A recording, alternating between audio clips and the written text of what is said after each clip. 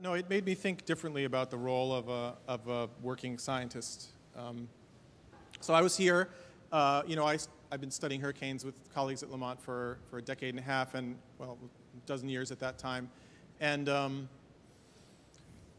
but not focusing on individual weather events. I'm not a forecaster. We don't really have weather forecasters at Lamont. It's one of the few things we don't have.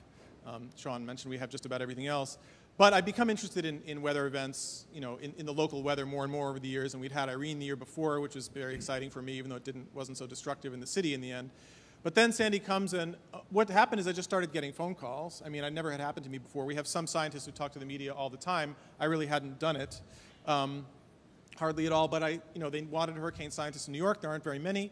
So um, I started getting calls, and it just sort of snowballed. And um, I actually didn't think there was disinformation. I, I, felt a lot of the local media coverage was very good. Well, I, I, didn't, I didn't, mean to. No, no, but it's important to say because I mean, some, with some science stories are, are, you know, not handled well. But this one, I, I felt we had a good, well-educated local media. Yep. In part, that was because the city has been taking climate seriously for a long time. I'm, I'm a big Janice Huff fan, so you can't say anything against Janice Huff. I, I love her, so be careful. But go ahead, yeah.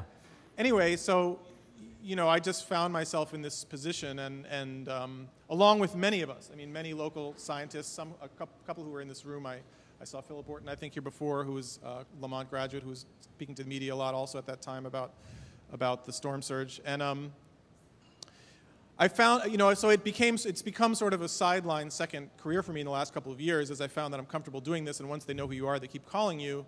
Uh, so I've been talking about extreme weather events a lot, and I, I felt at first a little bit strange about it. Uh, first of all, a little survivor guilt because this huge disaster was sort of good for my career in some way, but I've gotten over that, I think. But the other um, thing is that it, it, you know, it's not what we think we're paid for. We're paid for doing research and advancing the frontiers of knowledge and not explaining it to the public. But, right, um, but I found the university very supportive, though. Uh, so so it, it, does feel but like I mean, part of my the, job these now. are.